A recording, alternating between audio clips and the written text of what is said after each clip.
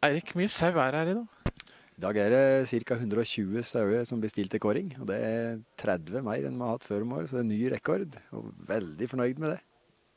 De her værelamma, hva blir brukt etter at de er kåra? Nei, De får da eh, smake på det søte, gode liv. Så da går de eh, rett ut i avlen. Og um, håper det at vi har til de likeste værelammene i landet her nå. Det er en veldig god giv på avlsarbeid i Valdres om dagen. Så um, de skal da pare forhåpentligvis meste av sauen da, som skal bli neste generasjon her i Valdres. Hvordan er det å drive med sau i Valdres? Det er veldig fint. Vi har til de beste utmarksbeitene, spesielt i nørre delen av Valdres. Og eh, syns sauemiljøet i Valdres eh, gjør det godt om dagen, altså. På alle mulige måter. Ja, en som gjør det godt, det er saueklipperen. Og du er en av landets beste saueklippere. Hvor mange lam har du klippet i seist?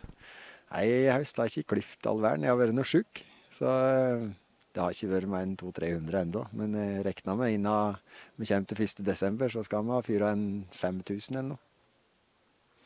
Anne, de fineste værene med de hardeste horna i Valdres, det er det du har, Siri. Mm, stemmer. Gammel norsk spelsau. Hva er spesielt med den? Det er veldig Ja, det er faktisk en av de eldste sauerasene vi har i Norge. Um, går tilbake til 1700-tallet. Um, har vært utrydningstrua, er på vei til å bli en uh, Det er blitt en populær sauerase.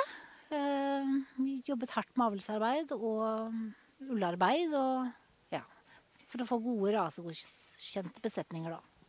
Du har én hvit, og så har du fire brune baki der. Er det farvenyanser på disse, eller? Kommer i alle farger og alle varianter. Både med og uten horn. Um, vi foretrekker da en rase med horn. Um, det skal være en viss lengde på pels, eller på ull, da. Og um, det skal være en viss lengde på spelen, altså halen.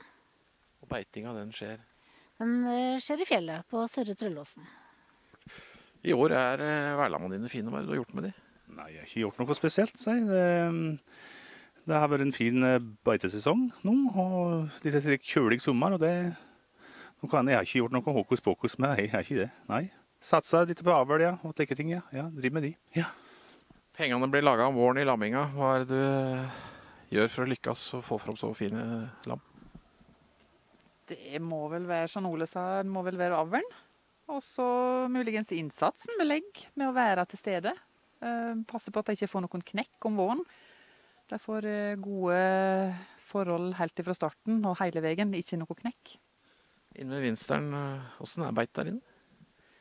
De, der vi har sauene våre, så er det veldig bra beite. Det er det. Um, snøen ligger lenge, så det er tilgang på rikt gras, eller gra, ny, ny, nytt gras, ferskt gras, hele sommeren. Hva er forskjellen på dala og spel og gammelnorsk og alle de navnene her, for oss som ikke har så veldig greie på det? Nei, spelsau han har lengre ull. Han har kort spel, han da, mot for NKS-en, norsk, norsk hvit, og han har lang rove og mer slik dalasaupreg, den gamle dalan, ja. ja. Men det er ikke Dala sau, det er NKS da, til nå, da. Ja. Og, og gammelnorsk, det det er Ja, de får ikke si